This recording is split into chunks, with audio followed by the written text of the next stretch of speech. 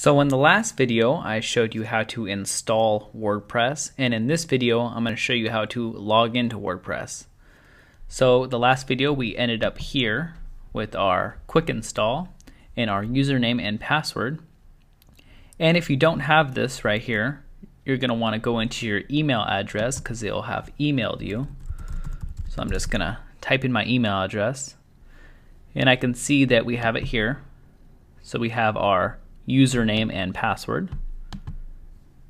And what we do to get into our website, we go into our ourwebsite.com forward slash WP dash admin.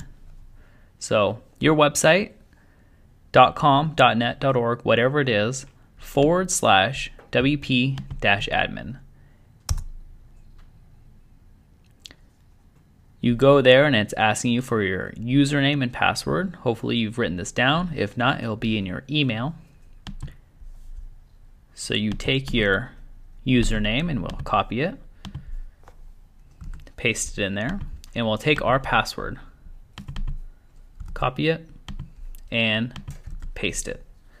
Then click login.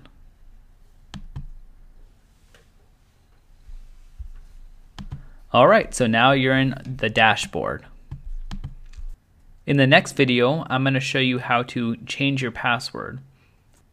So please remember to comment, please rate, and please subscribe. And remember to go to conutant.org, that's C-O-N-U-T-A-N-T dot O-R-G for more free lessons. Thanks a lot.